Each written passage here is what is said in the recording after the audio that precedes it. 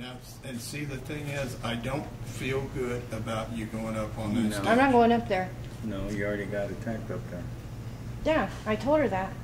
But she Mhm. wouldn't talk anymore on here. And then she says to go ahead and go up there. So it's, If you want to listen to it, she says, okay, it's okay. I said, can I, can I go up there? I want to hear your voice. She said, it's okay. But I think I asked, why do I need to go up there? And she said, um, It's in the darkness. We'll get you. I get you. So see, that's two contradictory statements. yeah. And then when she said that I was familiar with one of the things that doesn't want to be crossed, Yeah, I knew what she was talking about. um, all of a sudden I got a vision of Jerome. No. And I told her he, he wouldn't come. Maybe he sent one of his little things, Yeah. but that's down there. She said the darkness is where the men go. So I'm going to leave those three grandfather, Joey, Caleb, and Black Crow with you. And then we'll do another session. Why and you if I do it don't in hear there? from you, then I know you're not real. You're not good. I can do it out here. I was sitting right there when I got her. Let's go, uh, let's go outside for a little bit. You need to, Let's do you uh, need to purge. prayer on them first. Let's get you outside Okay. first, and then we'll come back in when you're all. So, When- Okay. When they're talking, we'll keep it on. Um, we figured that out out here. Now, what did he tell you? That where the men go and the stage is a portal that's an entrance and an exit. So, yeah, my heart's racing still. I'm gonna, Mina, tell me about Romina.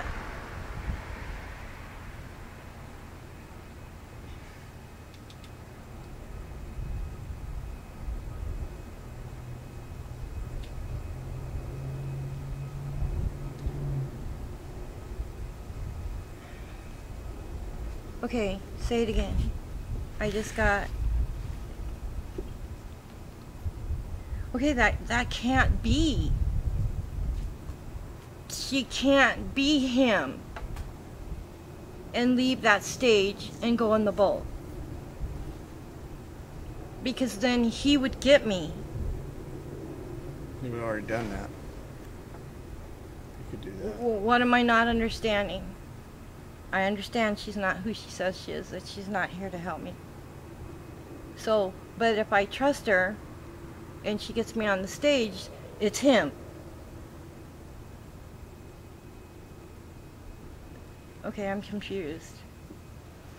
All the ones that aren't going to come forward with their name are all a part of him. She was here three years ago. I saw her. I thought we were friends then. Even tonight, I needed to hear her voice, and she said, It's okay for me to go up there.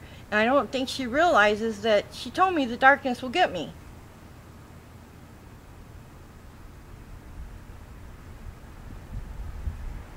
Okay, Caleb?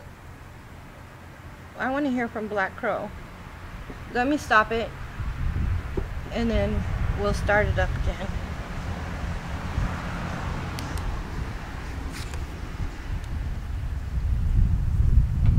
Okay, Black Crow, you tell me. Okay, so three years ago, I meet this gypsy, but you're saying that she's a she's a hippie, like a gypsy, looks like a gypsy. You you don't know what either one is. Okay, I'm a hippie, but I tried to dress like a gypsy for her. So when I saw her three years ago, she was good. And then the day of the interview, the darkness got her. So now she's working for the darkness or she's a slave to the darkness. Okay, she's a slave. I don't know if I can save her. Because then I have to go up against him. And I can't. Not right now. No. Have you seen him? Is he on that stage? Okay, that's him. So I need to cross people like that young man right there, David.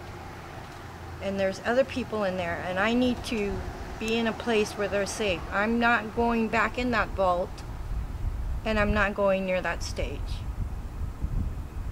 Can't you do it right here? Because we're not safe outside. He said there's too much, a lot of the things that came from the cemetery aren't the nicest things. Well, we'll just do it in there and we'll do it on this side away from the, What do we do, Caleb? Do we, as we're investigating, go along and start blessing? Yeah, I feel bad, but I can't save her. I don't think I can. She has to be strong enough to get away from it. So, the other darkness in the bathroom is what? Part of him. So it was just a normal haunting, and when we came for the interview, he saw opportunity because okay. So you're telling me that she was good when I saw her three years ago, and she was good the day of the interview, but then he got her. For her to be as good as she was the day of the interview, he had to have done a lot to get her. Oh, well, it don't take very much for what he, the effect he has on me. So I need Joey, I need you all to help me. Why did she go to the stage? Grandfather just told Black Pearl that she's on the stage, waiting for me. But there's a book that needs to be removed. That's a Bible. I put holy water all around that table.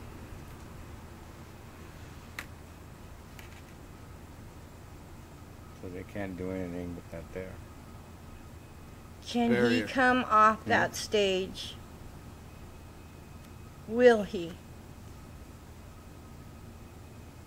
But he'll be weak. Well, we didn't bring a box. I'm not prepared to fight him tonight. No, No. This is just a battle he's gonna lose. Can't they keep him a bit? Can't they take him he back? can't, he can't cross that holy water. Mm-mm. If I get near the stage, oh yeah, he can get a hold of me. Yeah, well, you're not going near it. Uh, Scratch, Black Crow says him trying to pull me up on the stage. That makes sense. Okay, well, I need to go in there and help legitimate people bless this place, the group. Um, I, I'm not going to have any more conversations with Mina. I, I don't want to leave her, but I don't Who are know. you talking to? Caleb, I don't know if I'm strong enough. Caleb, could I help her?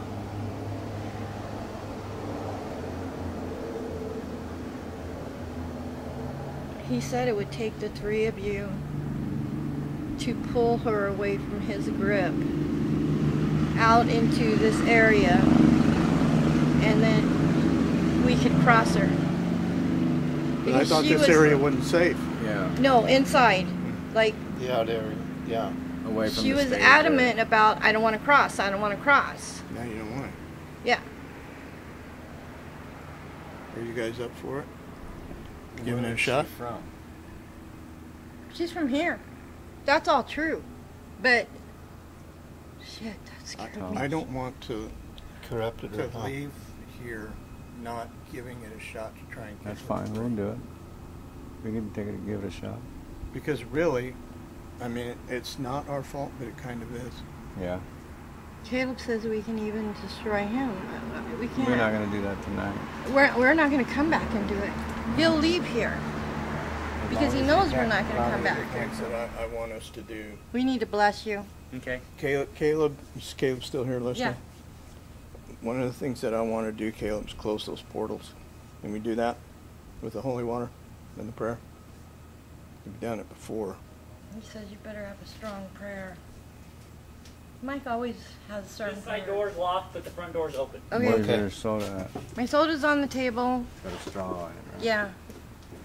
And then um, This side door is locked, but the front door's open. okay, Where's Okay. your soda at? my soda's on the table. Got a straw in it, right? Yeah. And then um, Let's get a game plan for how we're gonna attack when we get in there. Okay? I know Caleb, that, I have to know why. Why would you say that? He said that you guys have to limit what I know. okay, Okay, then that leaves me. Oh, Are you gonna use me for bait? no. It just means when we're doing what we're gonna do in there, you, you need to be someplace safe. Where's the safest place for her to be, Caleb?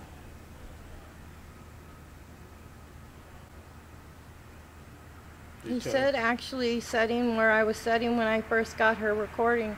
That's really close to the stage.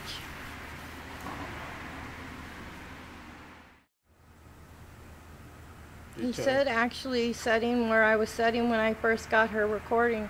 That's really close to the stage. You uh, seen him? on this front window where you were sitting. Like on that there. Uh, what about that wooden bench? One of the first benches, yeah. You've seen him, Caleb? You saw him in your own. I just want to be done with this. If I thought we could get rid of him tonight, I would gladly do it, but we're not prepared.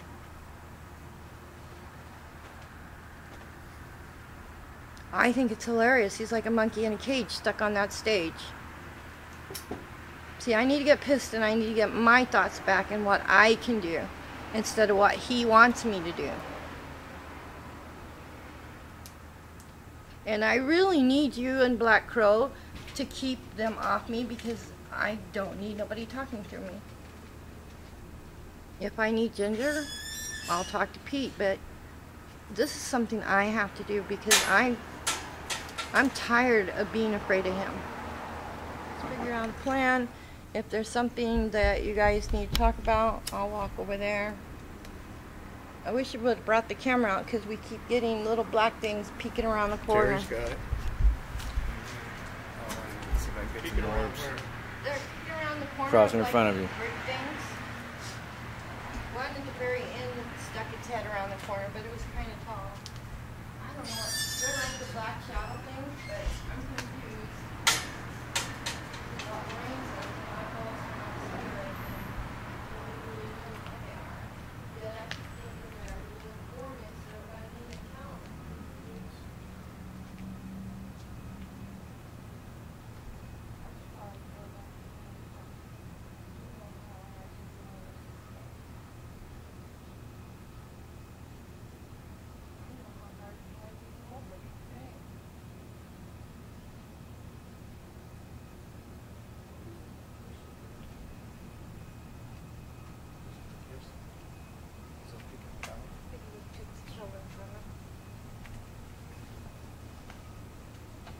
And he really doesn't have any children. That was just the thing to see if we'd go back to mhm. Jerome. Yeah, I knew that was bait. We're getting a little wiser to the way they do things and some of the trickery. I mean, this we could have easily fallen for this if we hadn't had If she spiritual hadn't help have telling sli- us. I don't think she even slipped. I think she intentionally told me, "The dark will get you," Yeah. to warn me. I From a- swear I from do. the So, goodness, too. Yeah. because I still have a feeling in my heart that I seen her three years ago and I fell in love with her. You can, you can go ahead and kill it if you want. I mean, it's been running enough. Well. This dark spirit that Liz is talking about, she calls him the surgeon. We first encountered him in an investigation we did in Jerome, Arizona in 2010. We were investigating the Jerome Grand, and that's where we ran into this guy. He didn't show up on the first day that we were there, but he showed up the, that night and uh, basically attacked Liz, and she was really sick. We thought for a while we might have to take her to the hospital. Thank God we didn't end up having to do that, and she gradually got better. And by the second night, she was able to to get back to investigating with us on a limited scale, but she was able to get back with us and help us. But she calls him the surgeon, we believe that this guy was a doctor in Jerome in the early 1900s. and that he was connected to at least one of the brothels that were flourishing back then. It was a mining community, so you know, lots of guys, lots of brothels, and uh, we believe that he was the one responsible for performing abortions on the the prostitutes that were unfortunate enough to get pregnant and that he performed these at the hospital there, which later became and is now the Jerome Grand Hotel. So, this spirit, we had dealt with him before, we knew what he could do. He was very dark, very powerful, was human, but still had a lot of power and a lot of things that he could do. And he could manipulate Liz, he could get into her head and mess up her thinking, get her confused, get her thoughts all cloudy, and get her to do things and say things that she definitely would not normally say or do. So, the reason I'm adding this is just to give you an indication, an idea of why Liz feels the way she does about that spirit. Is because she, what she'd been through with him before, and even since, he's even still tried to get to her several different times, even though we haven't been back to Jerome since 2010. So, just like this time, he would find ways that he could reach out and try and get her. I think, I guess he sees her as some kind of great prize that if he could get her and grab onto her spirit, that she would be like this Energizer Bunny that he could just charge himself with and become that much stronger. That's theory or speculation on my part, but that's what I think.